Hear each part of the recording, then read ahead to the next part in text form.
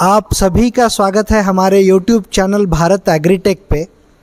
आज हमारी कंपनी में डॉक्टर चंद्रशेखर जी आए हैं, जो उड़पी में उनका बहुत बड़ा काम है। तो मैं डॉक्टर साहब को ये रिक्वेस्ट करूँगा कि आप थोड़ा आपका इंट्रोडक्शन दें और बताइए सर।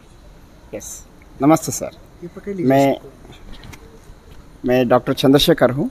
मैं आयुर्वेद का पंचकर्मा में एमडी करके उड़ुपी में अनामय चिकित्सालय नाम का एक आयुर्वेद का हॉस्पिटल चलाता हूँ। और अनामय हर्बल्स नाम का एक हर्ब्स का, आयुर्वेदिक हर्ब्स का, और आयुर्वेदिक जड़ी बूटियों का, आयुर्वेदिक जो सीड्स होते हैं, उसका भी व्यापार करता हूँ। और मेरे पास आयुर्वेद का सीड्स का ऑयल निकालने के लिए लकड़ी का गाना भी है और आयरन का गाना भी है, जिसमें मैं ऑयल निकालता हूँ। मैं हमेशा मेडिसिनल ऑयल प्रिपरेशन में बहुत इंटरेस्ट रखता हूँ। जैसे अजवाइन का ऑयल होता है जैसा भिलावा का ऑयल होता है जैसा मालकंगनी का ऑयल होता है जैसा पुदीना का ऑयल होता है।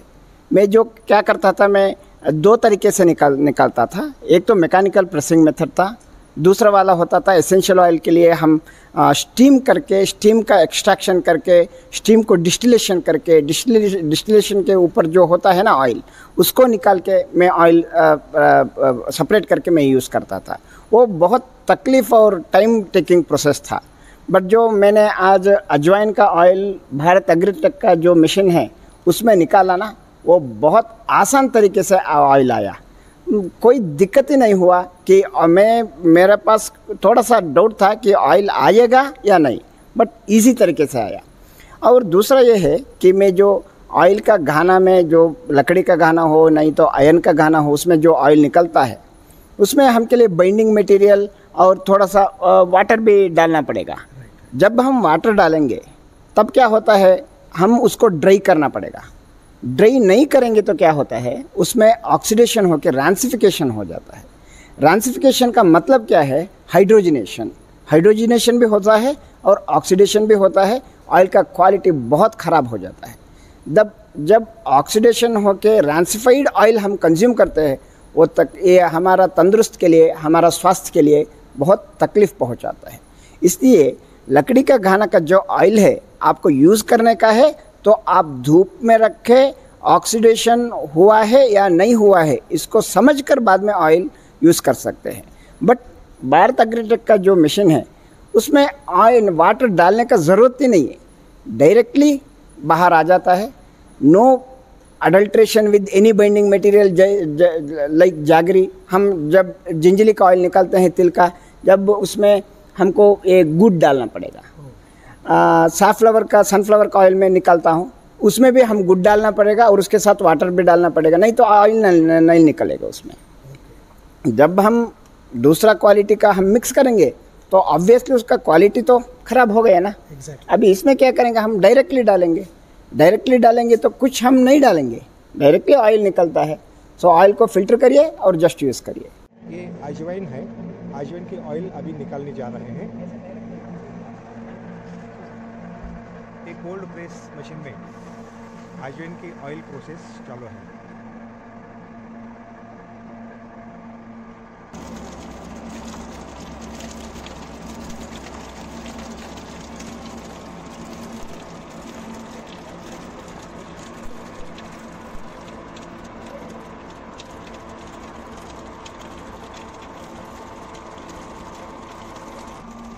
उसकी आ रही है।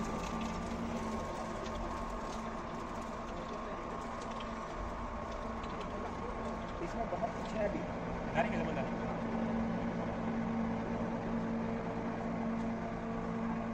एक लो।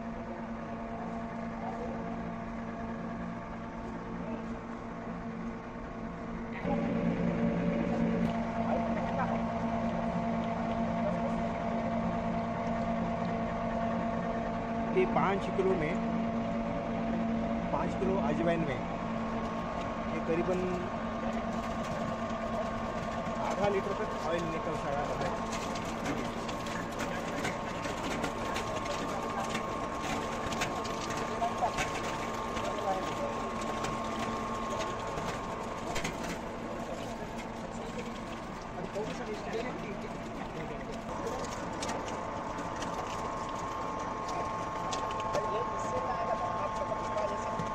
इसलिए मेरा हिसाब से जो मैंने आज अजवाइन का ऑयल मैंने निकाला है, ये बहुत बढ़िया क्वालिटी का ऑयल है, जिसमें वाटर कंटेंट ही नहीं है।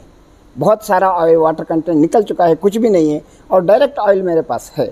इसलिए मैं बहुत इम्प्रेस हुआ हूँ इस मशीन से कि हम बहुत सारे आयुर्वेद का जो मेडिसिनल वैल्यू का जो सीड्स होते हैं, उसका भी ऑयल हम इस मशीन से ईजी तरीके से निकाल सकते हैं। सर अभी जो आपने बोला आ, कि लकड़ी घानी में निकलने वाला जो तेल है उसमें जो वाटर कंटेंट रहता है वो निकालना चाहिए अदरवाइज़ वो रैंसिफिकेशन होता है। अ, वो अगर वैसा ही अगर कंज्यूम किया क्योंकि आज की डेट में बहुत सारे लकड़ी घाने वाले हैं जिनको प्रोसेस मालूम नहीं है कि उसमें से मॉइस्चर कैसे निकाला जाए।